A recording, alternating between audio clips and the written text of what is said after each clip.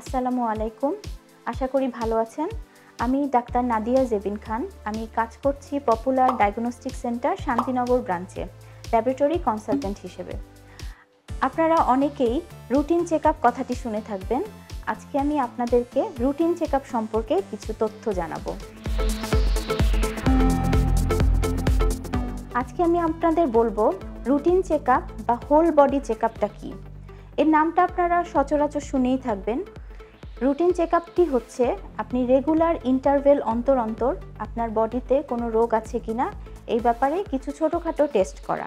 অনেক সময় আমরা ডাক্তারের পরামর্শ নেই, আবার অনেক সময় আমরা নিজেরাই এ সম্পর্কে অনেক কিছু জানি, যেটাতে আমরা রুটিনলি কিছু পরীক্ষা নিরীক্ষা করে আমাদের শরীরের রেগুলার কন্ডিশন সম্পর্কে জানতে পারব। আপনি যদি আপনার শরীরকে সুস্থ রাখতে চান, তাহলে ৩০ বছর বয়সের পরে অবশ্যই আপনাদের রেগুলার রুটিন চেক করা উচিত। 30 থেকে চল্লিশ, এই বয়সটি কিন্তু সবচেয়ে ভালনারেবল পিরিয়ড আপনার যে কোনো ধরনের লাইফ লং ডিজিজ এই সময় আপনার শরীরে বাসা বাঁধতে শুরু করে। এরকম লাইফ লং ডিজিজের মধ্যে সবচেয়ে কমনলি আমরা দেখতে পাই ডায়াবেটিস উচ্চ রক্তচাপ, শরীরে চর্বির পরিমাণ বেড়ে যাওয়া, শরীরের ইউরিক অ্যাসিডের পরিমাণ বেড়ে যাওয়া, এছাড়া হার্টের অসুখ লিভারের অসুখ কিডনির অসুখ, এসবের মধ্যেও অনেকে আজকাল ভুগতে দেখা যাচ্ছে। আমাদের যখন শরীরে কোনো অসুখ বাসা বাঁধতে থাকে, তখন আমরা সেটার সাইন সিমটম বুঝতে পারি, তখন আমরা একজন চিকিৎসকের শরণাপন্ন হই। কিন্তু যখন আমরা ভালো থাকি, তখন আমাদের উচিত আমাদের শরীর সম্পর্কে একটু খোঁজখবর নেওয়া। এই জন্যই আমরা তিরিশের পরে ছয় মাস অন্তর অন্তর কিছু রক্ত পরীক্ষা এবং কিছু প্রস্রাবের পরীক্ষা করব।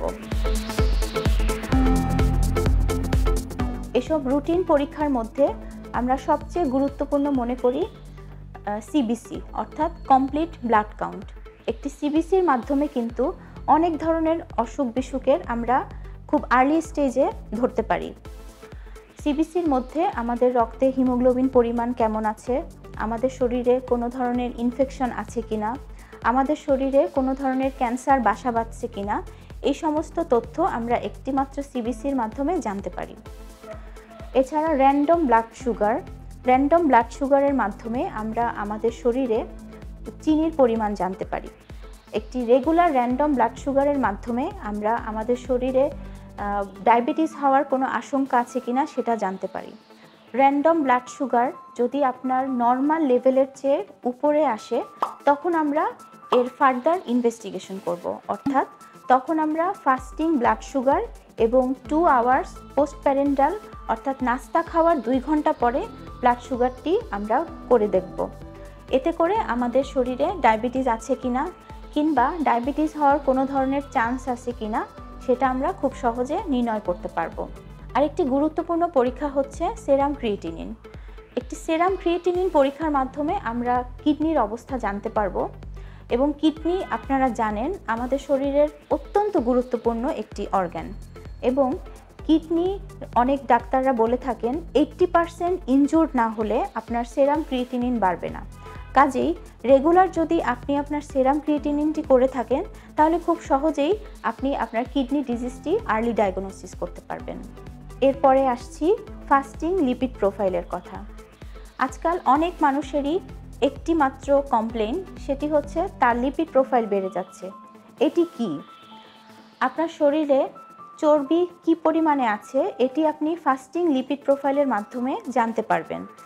একটি লিপিড প্রোফাইলে আমরা চারটি প্যারামিটার দেখি, সেটি হলো কোলেস্টেরল ট্রাইঅ্যাসাইল গ্লিসারাইড এলডিএল এবং এইচডিএল এই পরীক্ষাগুলোর মাধ্যমে আপনি সহজেই রক্তে চর্বির পরিমাণ এবং সেটি দেখে আপনি আপনার হার্টের কোনো ধরনের খারাপ রোগ হওয়ার চান্স আছে কিনা সেটা আপনি জানতে পারবেন।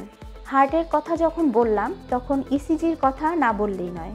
আপনারা ইসিজি সম্পর্কে আগেও শুনে থাকবেন, এটি অত্যন্ত সহজলভ্য এবং অত্যন্ত কস্ট ইফেক্টিভ একটি পরীক্ষা, যেটির মাধ্যমে আপনি আপনার হৃৎপিণ্ডের যে কোনো ধরনের ডিজিজ আর্লি ডায়াগনোসিস করতে পারবেন। রুটিন চেক মধ্যে আরেকটি পরীক্ষা হচ্ছে প্রস্রাবের পরীক্ষা, অর্থাৎ ইউরিন ফর রুটিন এক্সামিনেশন এর আগের একটি পর্বে আপনাদের জানিয়েছিলাম যে একটি ইউরিন পরীক্ষার মাধ্যমে আপনার শরীরে কোনো ধরনের ইনফেকশন আছে কিনা, আপনার ডায়াবেটিস আছে কিনা, ইউরিনের মাধ্যমে অ্যালবুমিন পাস হচ্ছে কিনা বা কোনো ধরনের অ্যাবনর্মাল কাস্ট পাস হচ্ছে কিনা আপনি খুব সহজে জানতে পারবেন। আজকাল অনেক চিকিৎসকই মনে করেন থাইরয়েডের পরীক্ষাটিও রুটিন চেক অন্তর্ভুক্ত হওয়া উচিত। সেজন্য আমরা সেরাম টিএসএইচ নামে একটি পরীক্ষা দিয়ে থাইরয়েডের অবস্থা জানতে পারি। বাংলাদেশের পরিপ্রেক্ষিতে থাইরয়েডের অসুখ অত্যন্ত ইম্পর্টেন্ট জিনিস এবং আজকাল এই অসুখটি বেড়েই যাচ্ছে। এই জন্য সকল চিকিৎসক মনে করেন যে রুটিন চেক মধ্যে থাইরয়েডের পরীক্ষাটিও অন্তর্ভুক্ত হওয়া উচিত। আমরা একটি থাইরয়েডের পরীক্ষার মাধ্যমে আমাদের শরীরে অন্যান্য অঙ্গগুলো ভালো আছে কিনা সেটিও জানতে পারব। কারণ থাইরয়েড হরমোন শরীরের বিভিন্ন অঙ্গ প্রত্যঙ্গের উপর ইফেক্ট করে। এবং আমরা যদি থাইরয়েডের কন্ডিশন জানতে চাই, তাহলে আমাদের ছোট্ট একটি পরীক্ষা করাই এনাফ এবং তার নাম হচ্ছে সেরাম টিএসএইচ একজন মহিলার জন্য এ সমস্ত রুটিন চেক আপের পাশাপাশি আরেকটি বিষয়ে দৃষ্টি আকর্ষণ আমি করছি, সেটি হচ্ছে সার্ভাইকাল ক্যান্সার আপনারা জানেন, আজকাল জরায়ু মুখের ক্যান্সার অর্থাৎ সার্ভাইকাল ক্যান্সারের পরিমাণ অনেক বেড়ে গিয়েছে। এই জন্য অনেক চিকিৎসক মনে করেন, তিরিশ বছর বয়সের পরে সকল নারীর সার্ভাইকাল ক্যান্সারের আর্লি ডায়াগনোসিস করার জন্য অথবা সার্ভাইকাল ক্যান্সারের কোনো ধরনের জীবাণু জরায়ু মুখে উপস্থিত আছে কিনা, এটি করার জন্য এক বছর পর পর প্যাপসমিয়ার নামে একটি পরীক্ষা করা উচিত এবং পঞ্চাশ বছরের পরে সকল মহিলারই উচিত নিজেদের ব্রেস্টের প্রতি খেয়াল রাখা। কোনো ধরনের ক্লিনিক্যাল সিমটম থাকলে অথবা আপনি রুটিনলি মেমোগ্রাফির মাধ্যমে ব্রেস্টের যে কোনো যে কোনো অসুখ ধরা পড়াতে পারেন। দর্শক, আজকে আমরা রুটিন চেক সম্পর্কে জানলাম। আশা করি তথ্যগুলো আপনাদের সাহায্য করছে।